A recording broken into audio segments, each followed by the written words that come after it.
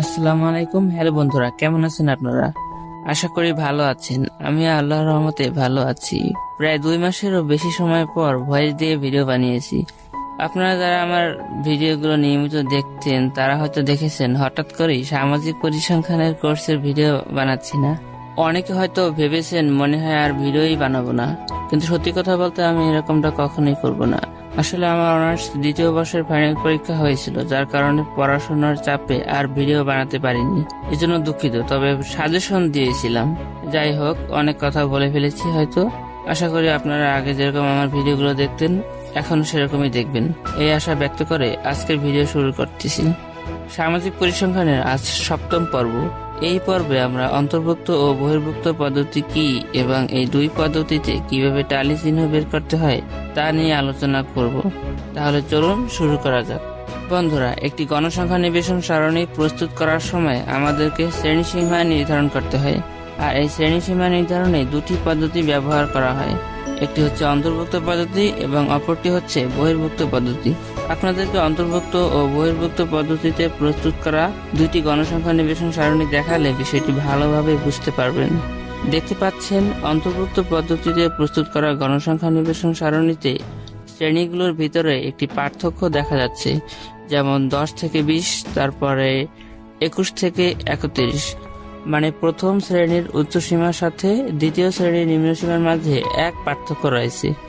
যদি কোনো গণসংখ্যা নিবেশন সারণীতে এরকম দেখেন, তাহলে বুঝে নেবেন যে এটি অন্তর্ভুক্ত পদ্ধতিতে তৈরিকৃত গণসংখ্যা নিবেশন সারণী। অপরদিকে বহির্ভুক্ত পদ্ধতিতে প্রস্তুত করা সারণীতে দেখা যাচ্ছে যে প্রথম শ্রেণির উচ্চসীমার সাথে দ্বিতীয় শ্রেণির নিম্নসীমার মাঝে কোনো পার্থক্য নেই। বন্ধুরা, যদি এরকম দেখেন, তাহলে বুঝে নেবেন এটি বহির্ভুক্ত পদ্ধতিতে তৈরিকৃত গণসংখ্যা নিবেশন সারণী। এবার এই দুটো পদ্ধতির সংজ্ঞা বলা যাক। অন্তর্ভুক্ত পদ্ধতি কাকে বলে? বিন্যস্ত বা অবিচ্ছিন্ন গণসংখ্যা নিবেশন সারণীতে কোনো শ্রেণির উচ্চসীমা এবং তার পরবর্তী শ্রেণির নিম্নসীমার মাঝে যদি এক পার্থক্য থাকে, তাহলে তাকে অন্তর্ভুক্ত পদ্ধতি বলে। ঠিক যেমন আমরা অন্তর্ভুক্ত পদ্ধতিতে তৈরিকৃত গণসংখ্যা নিবেশন সারণীতে দেখেছিলাম। বহির্ভুক্ত পদ্ধতি কি? বিন্যস্ত বা অবিচ্ছিন্ন গণসংখ্যা সারণীতে কোন শ্রেণির উচ্চসীমা এবং তার পরবর্তী শ্রেণির নিম্নসীমার মাঝে যদি কোনো পার্থক্য না থাকে, তাকে বহির্ভুক্ত পদ্ধতি বলে। আশা করি অন্তর্ভুক্ত পদ্ধতি কি এবং বহির্ভুক্ত পদ্ধতি কি তা বুঝতে পেরেছেন। এবার শিখব অন্তর্ভুক্ত ও বহির্ভুক্ত পদ্ধতিতে কীভাবে টালি চিহ্ন বের করবেন। প্রথমে জানব অন্তর্ভুক্ত পদ্ধতিতে কীভাবে টালি চিহ্ন বের করতে হয়। এই ছবিটির প্রশ্নটিকে দেখুন।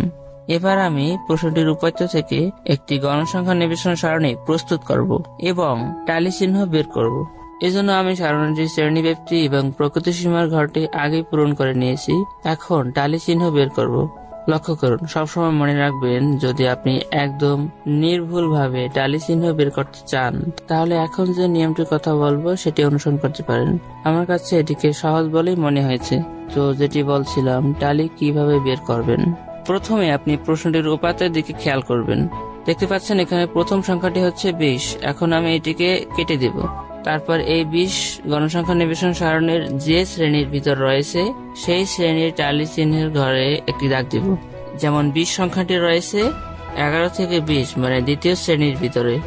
ঠিক একইভাবে প্রত্যেকটি সংখ্যাকে কেটে দিবেন এবং সেই সংখ্যাটি যে শ্রেণির ভিতরে রয়েছে, সেই শ্রেণির টালি চিহ্নের ঘরে দাগ দিবেন।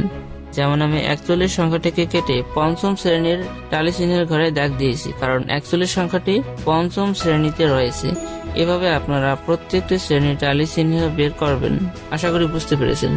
আর শ্রেণি কি তা আপনি উপরের আই বাটনে ক্লিক করে দেখে আসতে পারেন। এবার আসি বহির্ভুক্ত পদ্ধতিতে কীভাবে টালি চিহ্ন বের করবেন। অধিকাংশ ছাত্রছাত্রীরা এই জায়গাটিতেই ভুল করে। যাই হোক, আমি আপনাদেরকে বিষয়টি পুরো ভেঙে বুঝে দেওয়ার চেষ্টা করব। অন্তর্ভুক্ত পদ্ধতির মতনই আপনি টালি চিহ্ন বের করবেন। তবে শুধু একটি কথা মাথায় রাখতে হবে। প্রথমে, আমি একটি প্রশ্নের ছবি এবং তা থেকে অনুসংখ্যান নিবেশন সারণী তৈরি করে অন্তর্ভুক্ত পদ্ধতির মতো টালি চিহ্ন বের করব। দেখতে পাচ্ছেন, প্রশ্নটির উপাত্ত থেকে গণসংখ্যা নিবেশন সারণী তৈরি করে শ্রেণি ব্যক্তির ঘরটি আগেই পূরণ করে নিয়েছি। এবার টালি চিহ্ন বের করব। ঠিক একই পদ্ধতি অনুসরণ করব। প্রথমে বত্রিশ সংখ্যাটিকে কেটে দিব। তারপর এই বত্রিশ সংখ্যাটি কোন শ্রেণির মধ্যে রয়েছে তা খুঁজবো। এবার সেই কথাটি বলার পালা। মনে রাখবেন বহির্ভুক্ত পদ্ধতিতে টালি চিহ্ন বের করার জন্য আপনি যখন প্রশ্নের উপাত্ত মানে সংখ্যা কেটে দিয়ে সেই সংখ্যাটি গণসংখ্যা নিবেশনের কোন শ্রেণির মধ্যে রয়েছে তা খুঁজতে যাবেন, তখন প্রত্যেকটি শ্রেণির উচ্চসীমা থেকে এক মাইনাস করবেন। তারপর দেখবেন আপনার কেটে দেওয়া সংখ্যাটি কোন শ্রেণির ভিতরে রয়েছে। যেমন আমি বত্রিশ সংখ্যাটিকে কেটে দিয়েছিলাম, এবার এটি গণসংখ্যা নিবেশনটির কোন শ্রেণির ভিতরে রয়েছে তা খুঁজবো। এজন্য আমি নিয়ম অনুযায়ী মনে মনে প্রত্যেকটি শ্রেণির উচ্চসীমা থেকে এক মাইনাস করেছি। তাহলে বত্রিশ সংখ্যাটি দ্বিতীয় শ্রেণির ভিতর রয়েছে। তারপর চল্লিশ সংখ্যাটিকে কেটে দিলাম। এবার এটি কোন শ্রেণির মধ্যে রয়েছে তা খুঁজব। এটি তৃতীয় শ্রেণির মধ্যে রয়েছে। বন্ধুরা, আপনাদের বোঝার সুবিধার্থে আমি তেত্রিশ সংখ্যাটি কেটে দিলাম। তো দেখতে পাচ্ছেন, তেত্রিশ সংখ্যাটি কিন্তু দ্বিতীয় ও তৃতীয় শ্রেণির মধ্যে রয়েছে। যেহেতু আমি নিয়ম অনুযায়ী প্রত্যেকটি শ্রেণির উচ্চ সীমা থেকে এক মাইনাস করেছিলাম, তাই দ্বিতীয় ও তৃতীয় শ্রেণীটি এরকম হবে। পঁচিশ থেকে বত্রিশ ও তেত্রিশ থেকে চল্লিশ। তাহলে দেখলাম তেত্রিশ সংখ্যাটি তৃতীয় শ্রেণির মধ্যে রয়েছে। তাই এই শ্রেণির টালি শ্রেণির ঘরে দাগ দিব। আর এই টালির ঘরে যে কয়টি সংখ্যা হবে, সেটি হবে সেই শ্রেণির গণসংখ্যার মান। আশা করি বিষয়টি বুঝতে পেরেছেন। না বুঝতে থাকলে কমেন্টে জানাবেন। হয়তো আপনাদের বোঝানোর জন্য ভিডিওটি বেশি বড় করে ফেলেছি, সেজন্য আন্তরিকভাবে দুঃখিত। আমি চাইছি আপনাদের পুরো বিষয়টিকে ভেঙে বোঝাতে। আজ এ পর্যন্ত ভিডিওটি ভালো লাগলে অনুগ্রহ করে একটি লাইক দিবেন এবং কমেন্টে আপনার মূল্যবান মতামত জানাবেন। ভিডিওটি আপনার বন্ধুদের সাথে শেয়ার করে তাদেরকে জানার সুযোগ করে দিতে পারেন। পরবর্তীতে আপনি কোন বিষয় নিয়ে ভিডিও দেখতে চান তা এখনই কমেন্টে জানান। প্রতিবারের মতো এবারও একটি ছোট্ট উক্তি বলব। ব্রায়ান ট্রেসি নামে এক জ্ঞানী বলেছিলেন সাধারণ মানুষ যতক্ষণ ভালো লাগে ততক্ষণ কাজ করে, আর অসাধারণ সফল মানুষেরা ভালো না লাগলেও যতক্ষণ না কাজ শেষ হয় ততক্ষণ কাজ বন্ধ করে না।